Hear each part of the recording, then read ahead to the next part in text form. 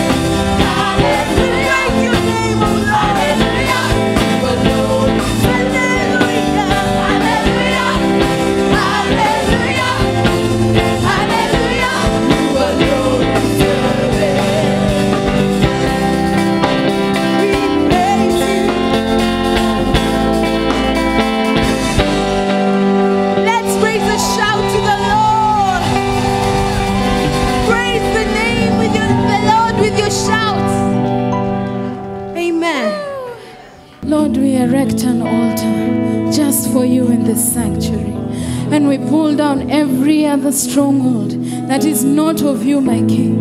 And we declare that this church is a church of the Most High, Jesus Christ, the Lord everlasting, the Lord mighty in battle, the God of Abraham, Isaac, Jacob, and of Deliverance Church in Gong Road. Lord, you are our, our King, you are our Maker.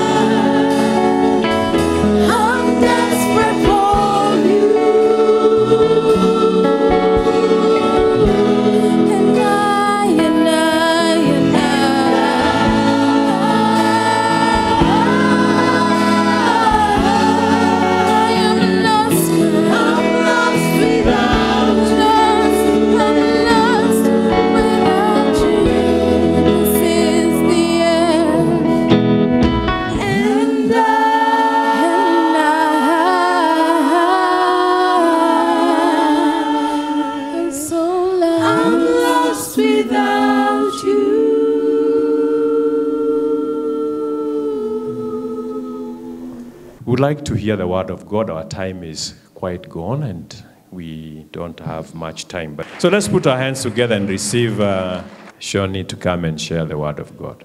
Bwana Yesu asifiwe. Praise the Lord. Kwa majina naitwa Peter Shoni Mabula. My name is uh, Peter Shoni Mabula. Yesu ni Bwana na Mwokozi wa maisha yangu. Jesus is Savior and Lord of my life. Amen. Amen. Kuna neno moja Bwana alinipa nilizungumze kwenu, There's a word the Lord gave me to speak to you. na ninajua hili neno ni zuri I know it's a good word na linatufaa. and it is good for us. Kichwa cha habari kinasema weka akiba. Save. Put something aside. Hebu mwambie jirani yako, Tell your neighbor, weka akiba. put something aside. Akiba maana yake Savings is ni kuchukua kitu chako fulani taking something, part of what you have, na kukihifadhi mahali and keeping it safe ili uje ukitumie baadaye. so that you can use it later. For example, money, taking some part of your money aside, Unaipeleka kwenye benki taking it to the bank, ikae hapo, stays there, uje uitumie baadaye. then you can use it later. Amen. Amen. Injili ya matayo sura ya sita. Matthew chapter 6, Injili ya Mathayo sura ya sita. Matthew chapter 6, ule mstari wa kumi na tisa. verse 19,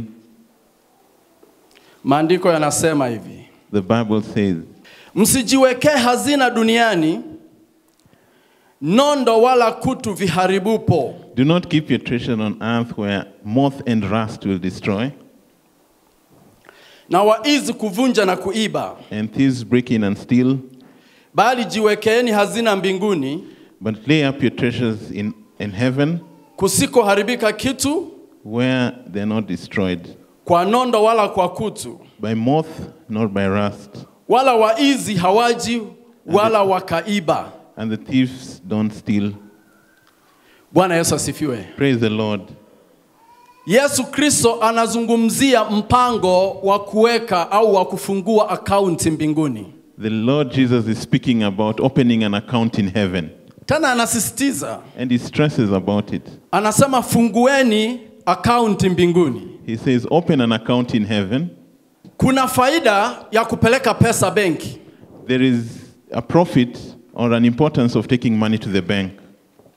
Mtu anayepeleka pesa benki, Whoever takes money to the bank, ziko faida ambazo huwa anapata. there are benefits of taking money to the bank. Faida ya kwanza, The first benefit, pesa yake inakuwa salama. your money is safe. Mwambie jirani yako, pesa yako iko salama. Tell your neighbor your money is safe. Chini ya blanketi, godoro. Kwa hivyo mtu anayepeleka pesa benki, maana yake anajihakikishia pesa yake iko salama. So whoever takes his money to the bank is sure that his money is safe. Faida ya pili, Second benefit, lazima apate faida. you get a profit. Mtu anayepeleka pesa benki lazima apate faida. Whoever takes money to the bank gets a profit. Bwana Yesu asifiwe sana. Praise the Lord. Mwambie jirani yako, Tell your neighbor, weka pesa benki upate faida. put your money in the bank and get a profit. Faida ya tatu, Third benefit, ukipeleka pesa benki if you take your money to the bank, una uhakika wa kukopeshwa. you are sure of getting a loan. Faida ya nne, Fourth benefit, ukipeleka pesa benki if you take your money to the bank, una uhakika you are sure wa kusaidika to get help wakati wa mahitaji ya wakati ujao. when you are in need later, Wakati ujao. in future. Bwana Yesu asifiwe. Yesu akasema, jiwekeeni hazina mbinguni. Maana yake tuweke akiba mbinguni. Kwa nini Yesu anasisitiza tuweke akiba mbinguni? Kwa sababu anajua mtu asiye na akiba mbinguni hawezi kupata pesa baadaye. Na Yesu anasema mtu lazima afungue akaunti mbinguni. Tena anasema kwa ujasiri, anasema benki za dunia zina uwezo wa kuteketezwa kwa moto. Benki za dunia wakati mwingine zinaibiwa na majambazi, lakini kwake ukiweka hakuna jambazi, hakuna moto kuwaka, hakuna kupoteza pesa. Oh, haleluya! Bwana Yesu asifiwe. Mbinguni hakuna kupoteza pesa. Duniani wakati mwingine tunapoteza, hata tukitaka mkopo, saa ingine unazungushwa pesa uliweka, unataka mkopo, unapewa masharti kibao. Mara ah, una leseni ya biashara eh, unayo. Kama huna biashara na pesa uliweka, mkopo hupati. Watu mnaofanya benki kazi, mnaofanya kazi benki, sinasema ukweli eh? Mnakopeshaga hata kama sina biashara.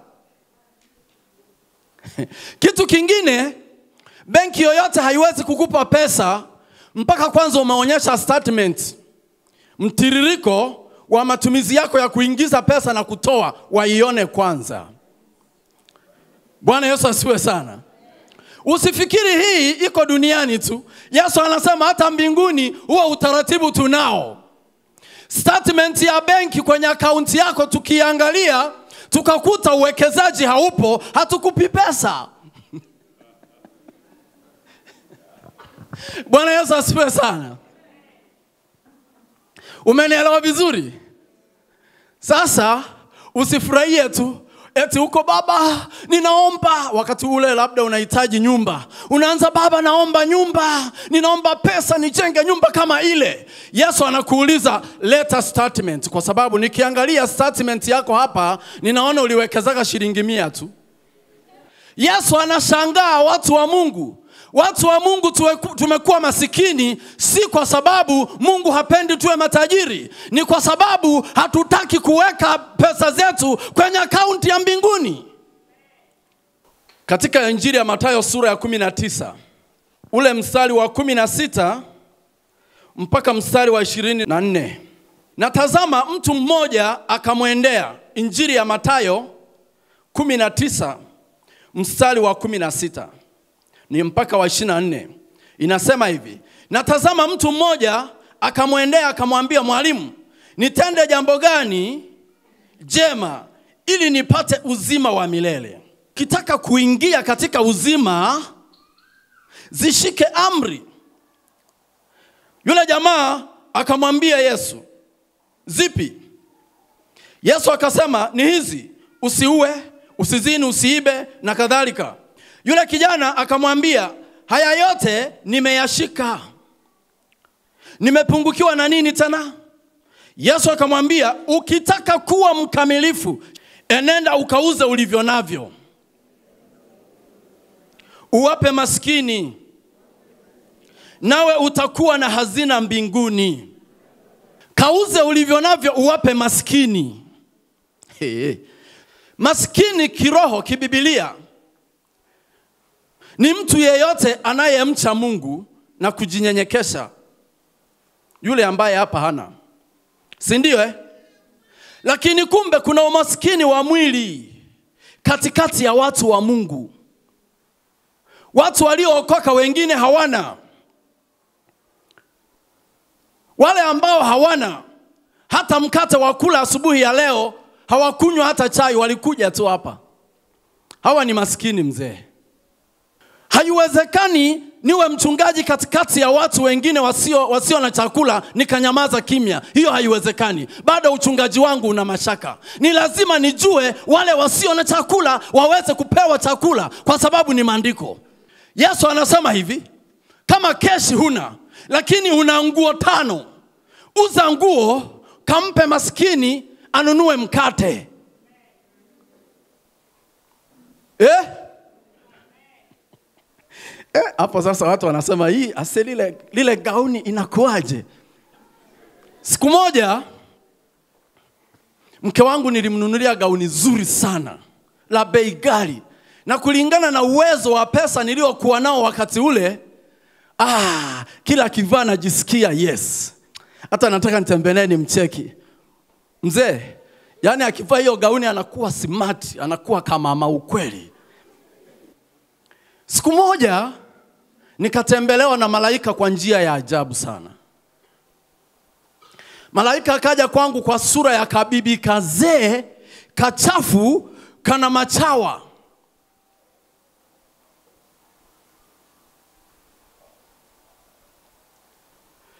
Mimi nilipokaangalia hivi nikasema mm. Lakini jana yake tulizungumzia jinsi Mungu hujibadilisha tukiwa na mama. Sasa malaika akaja, kabibi kamechoka, kanatembelea fimbo, miguu imeparara. Mama, ukiangalia funza huku unaona kama zingine zitatokezea. Mchafu, unajua wale wachafu, linguo limeraruka, halafu limejaa mabakabaka meusi, meupe, ya maziwa, ya ugali, ya wali, yote yako kwa nguo. Nikaangalia nikasema mm, lakini nikasema hapana. Nikamwambia bibi njoo. Nikisema bibi simaanishi mke, namaanisha nyanya. Kabibi kakaja kakasimama kwenye mlango wa nyumba yangu kanasema, ah, mimi siingii huko, naomba nikae hapa nje tu, sitaki kuchafua. Nikakambia ingia na ukae kwenye makoshi uyachafue. Ambia aya, mtoto wangu wewe, wewe bwana, bwana wewe aya nimekaa nikamwambia mama eh, chemsha maji ya kuoga. Mama akaingia hapo akawasha jiko haraka haraka akachemsha maji akapeleka bibi yule bafuni. Akaenda akamwogesha vizuri. Wakati anamwogesha nikasikia sauti inaniambia mwambie mkeo ampe lile gauni zuri. Lile lile lile lile. Nikaanza kupambana na hii. Aya ile a a. Lakini sikuna ile nyingine ambia a ile nikamwambiaje mama alipomleta yule bibi yule nyanya? Nikamwambia mungu ananiambia ile gauni yako ile mpe avae. Tuko chumbani. Akasema mm, na wewe baba vise. nikamwambia fanya hivyo tena bila kusita. Mm, haya. Kaenda akafungua lile gauni akamvika. Kale kabibi kakajiangalia ah, ah, ah, kakapewa chai kana enjoy kana furahi hakuna mtu alijua kama ni malaika sisi tulijua ni kanyanya kamepewa chakula Sasa imefika kama saa kumi za jioni hivi, hataki kulala nyumbani. Namwambia nyanya, wewe si ulisema kwenu ni mbali? Ambia hata kama siwezi kulala kwenu, lazima niende, lazima. Nakamwambia lala bibi, hapana, hapana. Kaambia haya, tukusindikize basi. Tukamsindikiza. Kufika mahali mama akakumbuka hajafunga mlango, akaniambia baba, mi narudi, wewe endelea kumsindikiza. Mi nikaendelea kukasindikiza. Tukafika mahali kuna kamsitu, kakasimama, kakaanza kuniambia mwanangu, wewe umeshinda mimi sio mtu wa kawaida na umebarikiwa. Kila ulichokifanya kwangu kimeandikwa. Halafu kakapotea machoni pangu. Nilipogeuka nikajua huyu si mtu, ni malaika wa Bwana. Bwana Yesu asiwe sana. Nikapanda gauni na ugali na chai na mkate kwa malaika. Umewahi kusoma historia ya Ibrahim? Ibrahim alipanda mkate na ndama. Unajua kile Mungu aliongea? Anasema sintakuficha kitu chochote, lazima nikupee wewe umebarikiwa, lazima wewe, hakuna siri ya kupitapita pembeni. Wewe umebarikiwa, kila kitu kwako kiko open, mapesa yako open, mawazo mazuri yako open, uzao wa kitajiri ni open kwako. Wewe uko matawi ya juu, Waswahili wanasema hivyo. Matawi ya juu ni mtu aliyefanikiwa. Bwana Yesu asiwe sana. Nilishangaa ule mji, siku moja nikaitiwa na mkuu wa wilaya wa hiyo wilaya nilikuwa naishi nikaitiwa viwanja vitatu vinauzwa shilingi ishirini na saba ya Kenya. Umewahi kupata kiwanja cha hivyo plot? Tena unaitiwa, sio hata unaomba, unaitiwa. Wekeni hazina mbinguni, mkitaka viwanja. Bwana Yesu asifiwe sana. Huyu tajiri alipoambiwa habari ya kutoa alichonacho akauze ndani, akasema haiwezekani. Yesu akasema ni ngumu sana kwa tajiri kuuingia ufalme wa Mungu, ni ngumu. Ni ngumu sana tajiri kupenya kwenye tundu la sindano, ni ngumu. Kwa nini? Kwa sababu matajiri wanahurumia pesa zao sana, wanataka kuona wanakula wenyewe, wanataka kuona wanajivika wenyewe, hawataki kuvika maskini. Hii ni roho ya uchoyo, ni mbaya. Siku moja Mungu alikuwa ameniambia nifanye huduma fulani, nikawa sina pesa. Nikaanza kumwambia Mungu, naomba pesa. Alafu akanituma kwa mtumishi fulani, akaniambia nenda muulize huyo, alafu utasikia kile atakwambia. Nikaenda kwa yule mtumishi, nikamwambia mtumishi, bwana ananiambia naomba unisaidie shilingi kadhaa nataka kwenda huduma mahali fulani. Akaniambia Mungu ataprovide. Kazi ya Mungu inajitegemea, Mungu ataprovide. Sasa sisi hapa kuna watu wanasemaga hivyo, Mungu ataprovide. Kama tunataka kuona ufalme wa Mungu unajengwa, Mungu hatashuka hapa atoe pesa. Pesa zitatoka mifukoni mwetu tu. Ndiyo maana kutoka sura ya ishirini na tano mstari wa kwanza mpaka wa tisa, lakini ule mstari wa kwanza na wa pili, Mungu alipotaka kujenga hema ya kukutania, alipotaka alienda kuomba watu pesa za kujengea na sadaka. Kwa nini hakujipo- nani haku, haku, hakujitegemea? Kwa nini Mungu akushuka sema yes, nimeshuka mapesa ndio haya hapa, Musa wewe jenga hema? Kwa nini? Kwa nini alimwambia tafadhali, nenda kawaambie wana wa Israeli, mwenye moyo wa kupenda, mwenye moyo wa kupenda kutoa atoe, asiyependa sina shida. Kwa nini Mungu anaagiza hii? Kwa sababu anajua kazi ya Mungu inafanywa na sisi wenyewe. Umewahi kujiuliza kosa la yule tajiri katika history ya tajiri na Lazaro? Tajiri alikuwa na uwezo wa kula vizuri na kuishi vizuri, lakini maskini akitaka kula alitegemea masazo, makombo, chakula kilichobakia kwa tajiri. Siku moja wote walikufa, huyu akafa kivyake na huyu akafa kivyake. Sasa wamefika kule, wakakuta wamekuta njia mbili. Tajiri ameenda njia ya kuzimu, Lazaro ameenda kifuani kwa Ibrahim. Tajiri akauliza swali siku moja, Mungu nipe msaada. Kwa nini jamaa anajinjoi na mimi sina dhambi, sikufanya dhambi duniani. Mimi sikuwa na dhambi kabisa. Mungu unajua, mimi sikuwa na dhambi. Siku, sikuchukua mke wa mtu, sikudhurumu mtu pesa, sikuwa na dhambi. Mungu wangu mimi sikuwa. Mungu akamwambia, kumbuka wewe ulipata mema yako. Nani? Ibrahim akamwambia, kumbuka wewe ulipata mema yako duniani na huyu alipata mabaya. Kumbe shida au hukumu aliyoipata tajiri ikamfanya aende kuzimu, ni kwa sababu tu alipopata mema hakukumbuka maskini.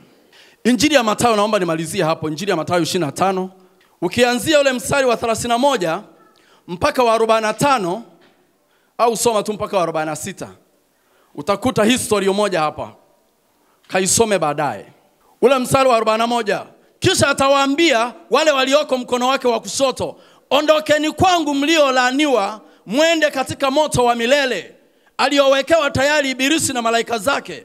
Kwa maana nalikuwa na njaa msinipe chakula. Nalikuwa na kiu msininyweshe. Nalikuwa mgeni msinikaribishe. Nalikuwa uchi msinivike nguo. Nalikuwa mgonjwa na kifungoni msije kunitazama. Ndipo na hao nao wakamjibu wakamwambia, ni lini tulipokuona wewe una njaa au uko uchi tusikuhudumie? Mstari wa 45 Yesu akajibu akawaambia, kadiri mlivyowatendea mmoja msivyowatendea mmojawapo wa hao walio wadogo, hamkunitendea mimi. Hawa watu wanaoambiwa haya maneno sio watu ambao hawajaokoka. Usije ukajifariji ukasema hawa ni wale hawajaokoka. Ni wewe, mimi na wewe, sisi tunaomjua Bwana Mungu. Anatushangaa, anatuletea katikati yetu watu walio uchi, tunawaangalia tu wanaenda, wanaolala na njaa, tunawaangalia tu wanaenda. Yesu anasema vile ambavyo hamkuwatendea hao, vile ambavyo hamkujishughulisha na hao vile ambavyo mliona kinyaa hata walipowatembelea, mlinionea kinyaa mimi, mlinichukia mimi. Ondokeni kwangu ninyi mliolaniwa. Open